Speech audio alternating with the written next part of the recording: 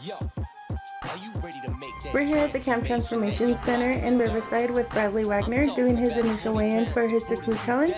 Bradley, go ahead and step on the scale. 20? So your weight is 355.4. Bradley will be there this week. Hi, we're here at the Camp Transformation Center in Riverside with Bradley Wagner doing his final weigh-in for his six-week challenge. Go ahead and step on the scale.